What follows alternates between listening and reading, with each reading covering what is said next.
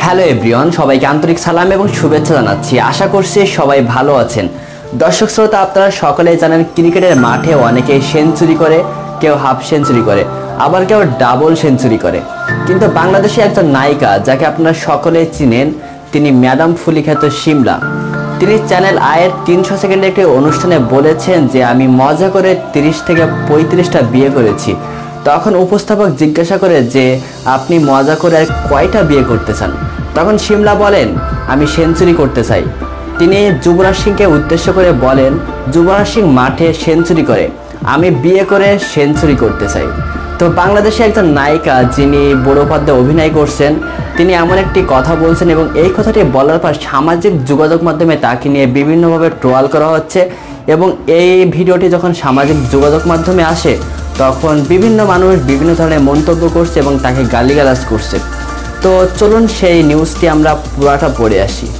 Madam ফুলিখাত চিত্রনায়িকা সিমলা বিয়ে করে সেঞ্চুরি করতে চান। চ্যানেল আয়ের তিনশো সেকেন্ড নামের একটি অনুষ্ঠানে মজার চলে সিমলা এমন মন্তব্য করেন। উপস্থাপক শাহরিয়া নাজিম জয় সিমলাকে প্রশ্ন করেন, আপনি বিয়ে করছেন কয়টা? সিমলা উত্তরে বলেন, মোটামুটি তিরিশ থেকে পঁয়ত্রিশটা। জয় দুষ্টুমি করে বলেন, ভবিষ্যতে দুষ্টুমি করে আর কয়টি বিয়ে করবেন? উত্তরে সিমলা বলেন সেঞ্চুরি করতে চাই। যুবরাজ সিং সবসময় ক্রিকেট খেলে সেঞ্চুরি করেছেন আমি বিয়ে করে সেঞ্চুরি করব।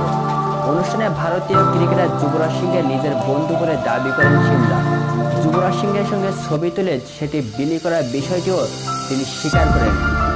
তো দর্শক, আপনারা কি মনে করেন? ম্যাডাম ফুলিখ্যাত এই সিমলা যে কথাটি সামাজিক যোগাযোগ মাধ্যমে বলছে, এই কথাটি বলাটা কি তার ঠিক হয়েছে নাকি ভুল হয়েছে?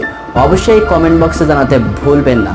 তো দর্শক, আমি পার্সোনালিভাবে মনে করি যে একজন সেলিব্রিটি বা সোশ্যাল মিডিয়ায় যার পরিচিত, তার এরকম ধরনের কথা মানায় না। না হলে দেখা যাচ্ছে এইসব কথার পর মানুষজনের তাকে নিয়ে ট্রল করবে, বাজে বাজে মন্তব্য করবে, এটাই স্বাভাবিক। তো জাস্ট এই কথাগুলো আপনাদের সামনে উপস্থাপন করার জন্য এবং আপনাদের জানানোর জন্য আমি এই ভিডিওটা তৈরি করলাম। সো কেউ সিরিয়াসলিভাবে নেবেন না। তো আর বেশি কিছু বলব না, সবাই ভালো থাকবেন, সুস্থ থাকবেন এবং যারা যারা আমার চ্যানেলটা এখনও সাবস্ক্রাইব করেন নাই, কষ্ট করে সাবস্ক্রাইব করে দিবেন এবং যারা সাবস্ক্রাইব করছেন তাদেরকে অসংখ্য ধন্যবাদ জানিয়ে আজকের ভিডিও এখানে শেষ করছি। আল্লাহ হাফেজ।